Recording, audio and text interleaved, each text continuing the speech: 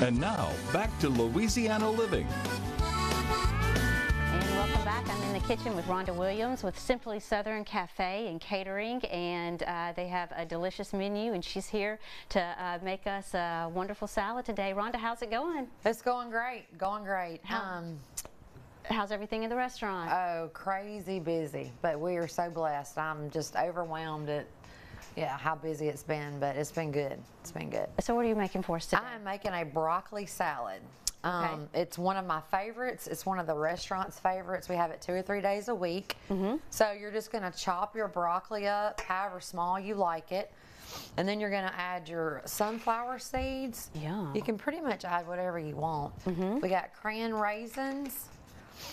And then we have our purple onions cut up pretty small. I like them really small. Smell good. And then we have our um, bacon. We're gonna pretend. And then we have this yummy, Yummy. dressing that goes on it. You can put cheese on it. You can add light mayonnaise, um, however you want to make it to your dietary, you know. Yeah. So this is mayonnaise with a little bit of vinegar and about a half a cup of sugar. Okay. And so we're just gonna drench it. It's better if it sets, the longer it sets, a couple of hours. Uh huh. Um, but yeah, just give it a good stir. So if it sets, do you set it in the refrigerator or leave it out? Yes. Or Yes, put it in the refrigerator. Um, it'll keep for a couple of days in Uh-huh. the fridge. and broccoli's Um, so good for you. Oh yeah. So while you're stirring it, tell us about some of your other menu items. Oh my goodness. So today we had chicken and dressing, Mm-hmm. chicken pot pie, lasagna, beef tips, and I made a homemade vegetable beef stew. that Oh, my was favorite. yes. I thought, you know what? It's cold. I mean, we may Uh-huh. not get very many more days cold weather, so let's do it.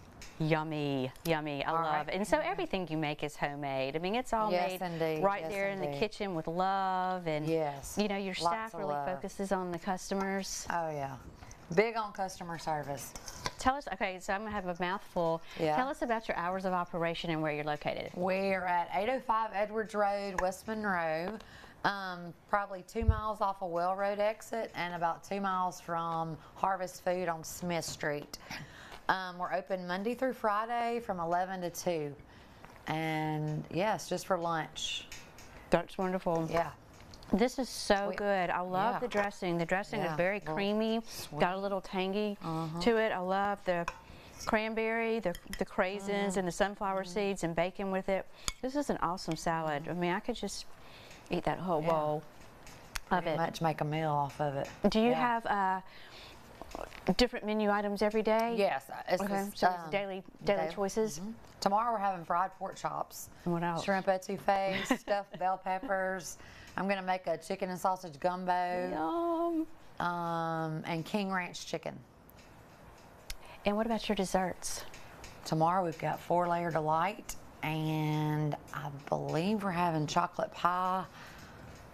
I think that's all tomorrow. And you're doing a lot of catering too. Tell me Oh, about your catering service. we cater to a lot of businesses, Mm-hmm. doctors' offices, you name it. We yeah, we've got something going on every day outside the restaurant also. And do y'all deliver it, or they need to pick it up? And We deliver. We have some that pick it up, but as long as you have ten plates or more, we'll deliver it.